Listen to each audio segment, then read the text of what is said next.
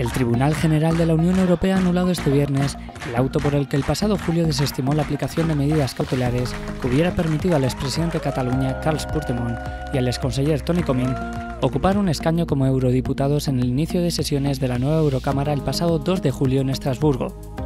El caso deberá ser examinado de nuevo por la Corte Europea, según ha informado el propio Tribunal de Justicia de la Unión Europea en un auto de la vicepresidenta del Tribunal General, en el que advierte de que la composición del Parlamento Europeo debe reflejar fiel e íntegramente la voluntad de los ciudadanos de la Unión Europea. Así, dice el auto, no cabe excluir a primera vista que la lista de eurodiputados electos el 13 de junio, en la que aparecían Puigdemont y Comín, fuera la proclamación oficial de los resultados de las elecciones europeas de mayo.